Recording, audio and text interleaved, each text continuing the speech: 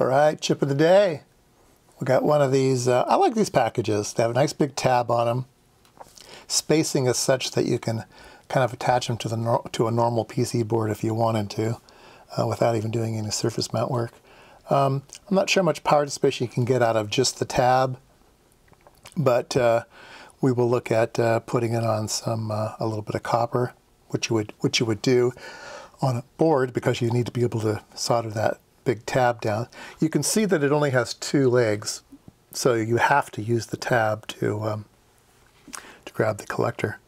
All right, what is this? It is a MJD340T4, another grab bag.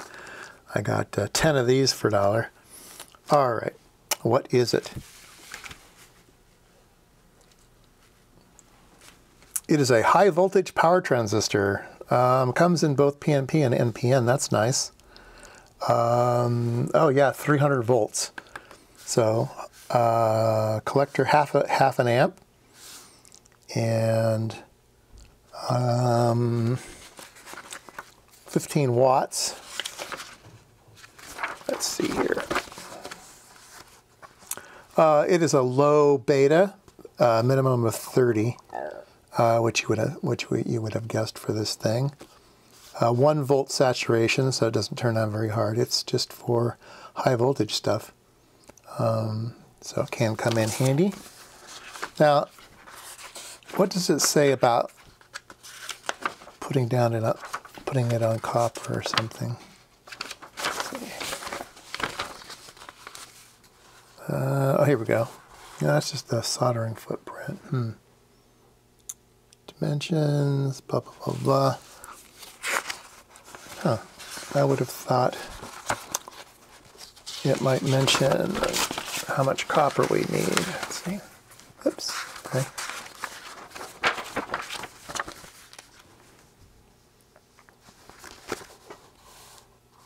Uh, power dissipation 15 watts, D rate, stresses. Yeah, I think it's probably just up to you to, to figure that out. All right. Uh, but what I'm going to do is I already have a little adapter board here. Uh, a little three pin adapter board. And I was able to solder it down to here and I have the uh, I have the big tab coming out to a center pin here so we can we can put it on a tester. Uh, here we'll do a couple testers. About that? a bit. This one says it's HFE 91. And uh, let's try a different tester. See if, see if testers can agree with one another. Oops.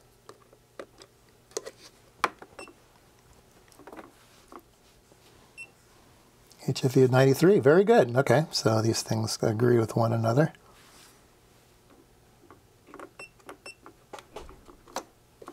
I do like this this tester. I think I just like the graphics. This this one works fine. All right, we're going to do some recycling. I have this board here. I'll desolder this tab, and we'll solder it over to this one. Let me get my soldering iron hot.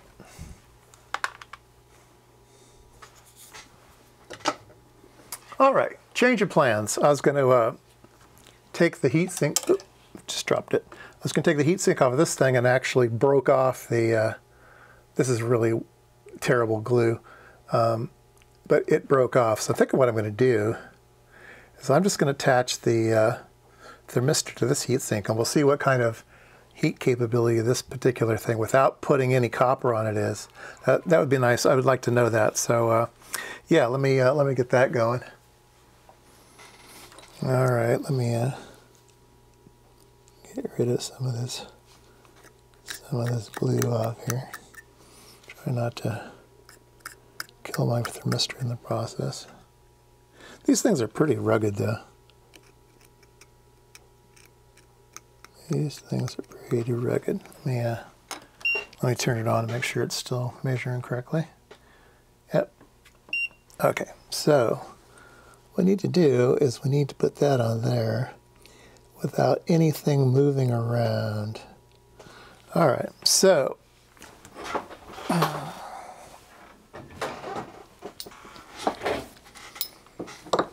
all right, I'm going to use my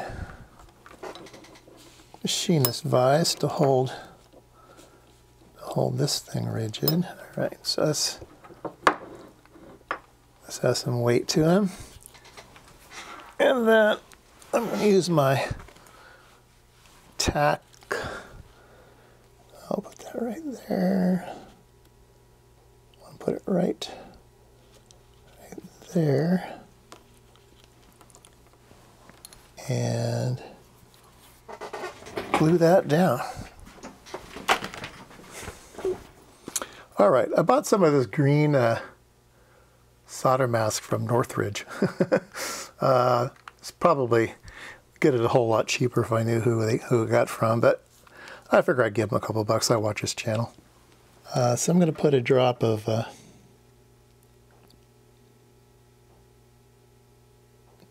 Oops, goddamn. All right. I'll put a blob there. And uh, I did not buy the light from him because he overcharges for it. These are cheap.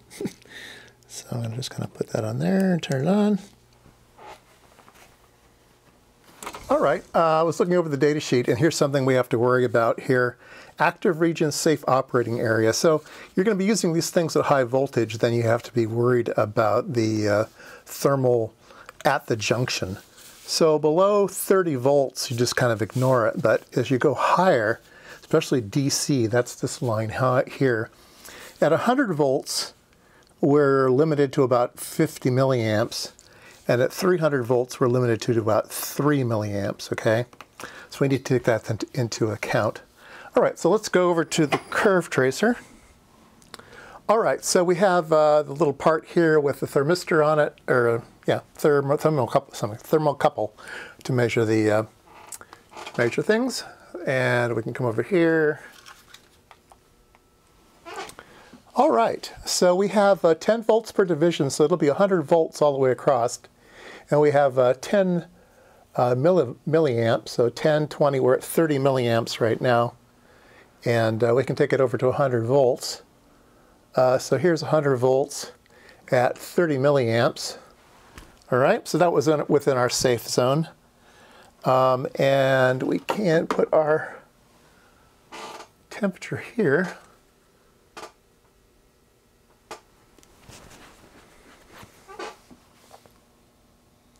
And the thing is heating up.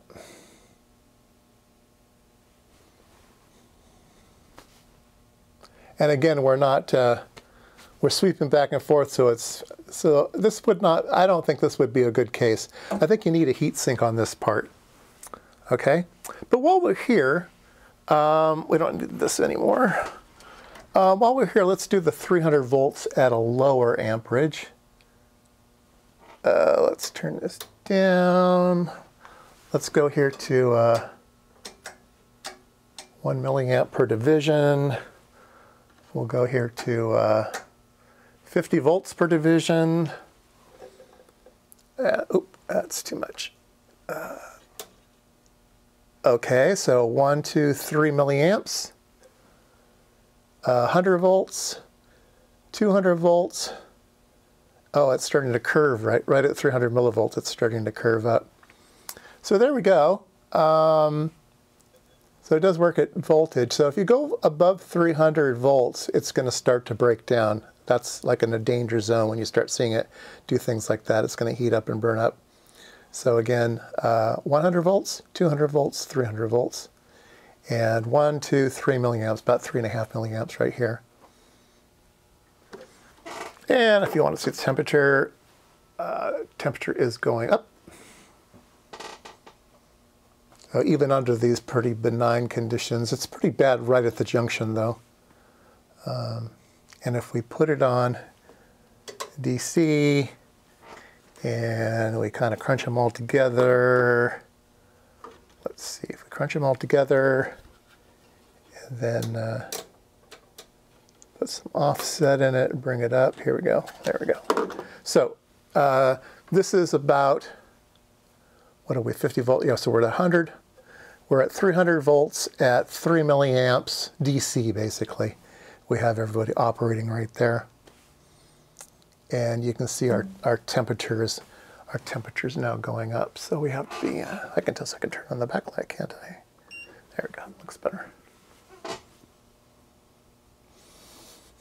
Yeah, so once again, uh, you know, it, it's not too bad right now. Uh, if it got up to 100C, I don't think I, well, it's going up pretty fast. I was going to say if it got to 100C, I wouldn't be too worried, but let's see what happens to it here.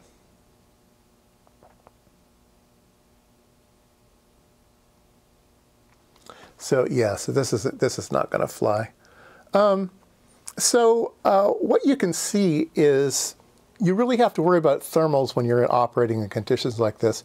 And you have to imagine this is a cold garage right now. It's a, it's a, uh, in the evening right now, so it's it's a very cool garage. But you need to test your instrument. So if you're building a, a product and you have to let it work from minus 40 degrees C to plus 85 degrees C. You need to add 85 degrees C on top of this. So um, yeah, things get ugly really fast. When I was designing products, we'd have to put them in ovens and test them at temperature, make sure they were still going to work and stuff. So, yeah, you got your work cut out for you.